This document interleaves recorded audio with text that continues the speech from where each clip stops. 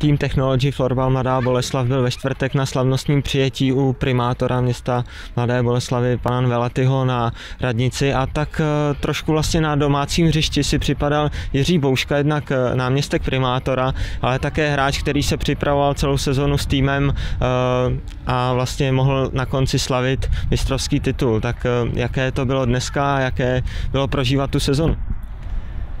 No tak jsem rád, že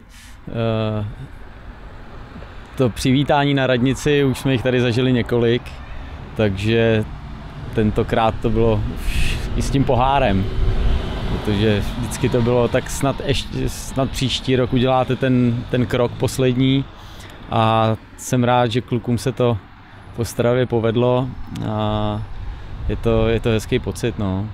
Vždycky, když tomu dáte trošičku nějakou tu oficialitu, už teda i po těch pár týdnech, co to, co to všechno proběhlo, tak, eh, tak si myslím, že to je fajn, fajn, fajn ocenění vlastně tady těch amatérských sportovců boleslavských, který už vlastně 20, 20 let eh, se snaží eh, o rozvoj florbalu nejenom tady v Mladé Boleslavi, ale, ale prostě to Ačko už si dlouho šlo prostě zatím, zatím získat, zatím získat ten, ten titul takže, takže, to je, takže to je fajn. Já jsem za to moc rád. Doufám, že kluci si to tady uh, užili a že si užijou i ten uh, další program, který dneska mají.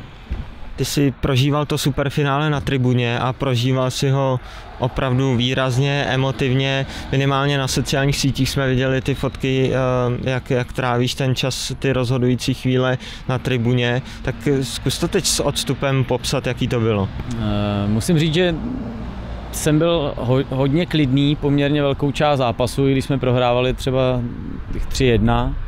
A, a, ale teda klidnější vždycky jsem byl na té střídačce, když prostě tam jako běháte, eh, jste prostě v tom, tak eh, nemáte čas úplně tolik přemýšlet, jako, jako jsem měl já, když jsem, když jsem fandil. A eh, teda bylo to peklo, no. hlavně ten závěr, když Vítkovice vlastně srovnali už dá se říct rozhodlý, rozhodlý zápas, tak když jsem 60 minut fandil, jako doslova na hlas, tak v to prodloužení to jsem prostě nemohl mluvit. To jsem prostě jenom si přál, aby to dopadlo. U práchy Pavla jsme za toho stavu 5-5 viděli i slzy. Uh, ty jsi to udržel? Byl jsi pořád pozitivní? No, spíš to bylo překvapení, jak to srovnali, tak člověk tak smíšené, hodně smíšené pocity. Viděl jsem tam, že za mnou, za mnou bráchu, který nejdřív teda brečel to, že to konečně jsme vyhráli a ještě, ještě než přestal brečet, tak už brečel to, že eh, nám to asi zase, zase uteče. A prostě fakt jsem rád, že ty Vítkovice, který nám několikrát zkazili sezónu, eh, několikrát jsme vedli v těch sériích 2-0, takže, takže konečně to štěstí se trošičku přiklonilo k nám a asi za tu práci celého klubu a, a, a kluků, tak nám to tam padlo. Byla pro tebe emotivní chvílí i ten okamžik eh, na pódiu při předávání zlatých medailí? Tak určitě, tak prostě všechny ty kluky znám, vím, kolik toho každý z nich eh, musí vlastně téměř každý den jako udělat. Chodí do školy, do práce a pak eh, řekl bych, že trénují jako Eh, jakýkoliv jiný vrcholový profesionální sportovci.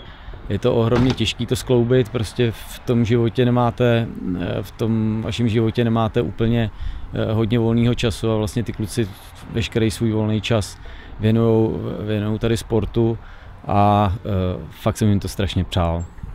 Díky za odpovědi, díky za rozhovor. Jo, měj se, čau.